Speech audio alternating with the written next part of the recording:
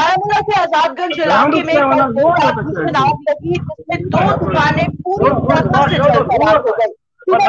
करेंगे उसके बाद हमारे ज्वाइन करते हैं पूरी तस्वीरें आपको दिखाएँगे कितना नुकसान हुआ है।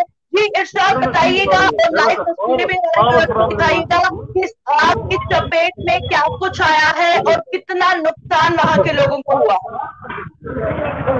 जी, बिल्कुल प्रियंका जी, अगर हम शुमाली कश्मीर के ज़िले बारामूला के आजादगंज इलाके की बात करें, आज रात के तकरीबन एक बजे के करीब यहाँ पे एक दुकान में आग नुमादार हुई। हालाँकि इस दुकान में जो है काफ़ी नुकसान हुआ। हालाँकि ये फुटवेयर का दुकान था। हालाँकि उसी वक्त जो है आग लगने के बाद यहाँ पे मुकामी लोग पहुँचे, जम्मू कश्मीर पुलिस के एहलकार वो पहुँचे फायर सर्विस पहुँचा। हालाँकि हर वक्त कार्रवाई करते हुए इस आग पे जो है काबू पाया। अगर हम इस इलाके की बात करें, ये रिहायश पजीर इलाका है, बारामूला हेडक्वार से एक डेढ़ किलोमीटर के दूरी पे वाक़ा है। आप देख सकते हैं यहाँ पे इन विजुअलों में किस तरह यहाँ पे जो है इस आग ने पूरे दुकान को जो है अपने लपेट में लिया है और तकरीबन तीस से चालीस लाख रुपया जो है यहाँ पे नुकसान हुआ। ये जो ऑनर है, इसका ये नजीर अहमद गनाई, ये आजादगंज से रहता है और इसके साथ हमारी बात हुई अभी थोड़ी देर पहले तो इनका यही कहना है कि हम ज़िले इंतज़ाम के साथ साथ मुतल मौसमों से यही अपील करते हैं कि वो हमें अकोमोडेट करें, हमें मदद करें, ताकि हमारे जो मुश्किल हैं वो दूर हो सके।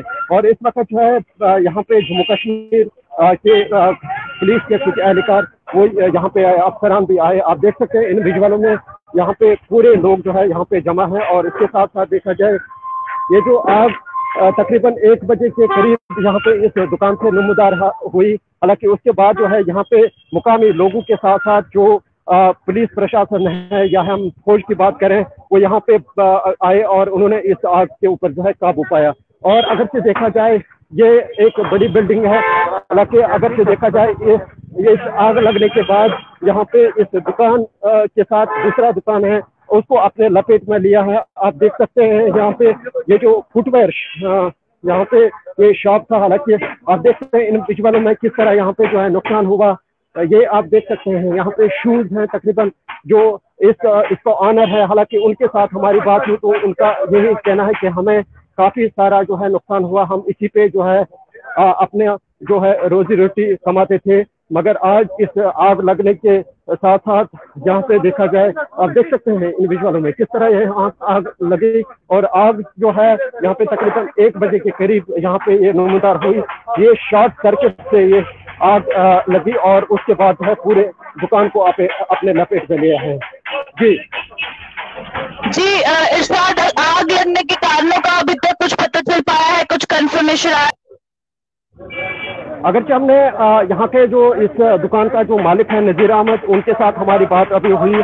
तो उनका यही कहना है कि ये शॉर्ट सर्किट की वजह से ये आग नमदार हुई। हालाँकि बर वक्त जो यहाँ के मुकामी लोग, जो आज़ादगंज के मुकामी लोग और जम्मू कश्मीर पुलिस के एहलकार या फायर सर्विस अमला जो है, यहाँ पे टाइम पे पहुँचा और इस आग के ऊपर जो है काबू पा लिया।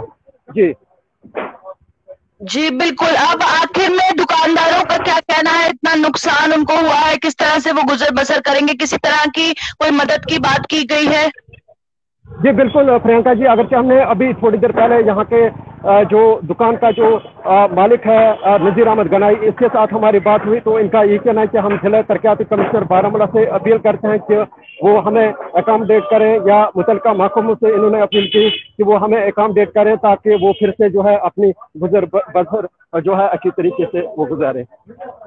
जी ग्राउंड से तमाम जानकारी देने के लिए बहुत बहुत शुक्रिया इर्शाद इर्शाद हमारे से ज्वाइन किए हुए थे और आजादगंज इलाका, बारामूला का, जहाँ पर आपने साफ़ तौर पर देखा कितना ज़्यादा नुकसान जो है वो देखने को मिला है। फ़िलहाल इस अपडेट में इतना ही देखते रहे जी, की का